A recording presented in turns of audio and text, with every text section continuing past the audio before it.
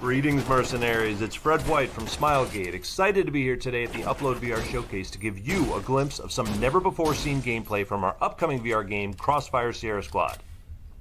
Now, the gameplay you're watching today takes place in a game mode called Realism Mode. It's a challenging mode that offers very little guidance, no ammo indicator, and low starting HP for both you and your enemies.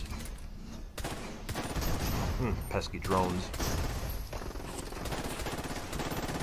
Now, there are 39 different weapons you can use in the game. You'll notice I'm carrying two pistols, the Eagle 50 and the AP-18C. They're useful for both short and medium range combat.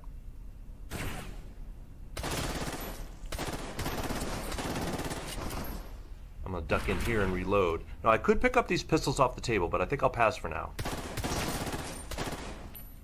Time to reload again. I'm going to step out and get that other guy. He's got a shield, so I need to be on target. Oh, got him, and there's one way back there I hadn't seen before.